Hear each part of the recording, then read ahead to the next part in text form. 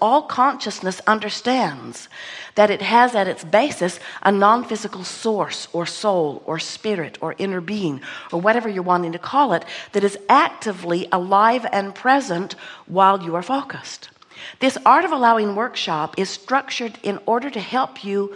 recognize that those two aspects of you exist and to give you processes to help you meld those two aspects because the fulfillment that you're looking for the happiness that you're looking for the living happily ever after that so many are on the quest of can only happen when you are in vibrational alignment with the whole of you. And that whole of you that non-physical part of you is continuing to evolve rapidly because of you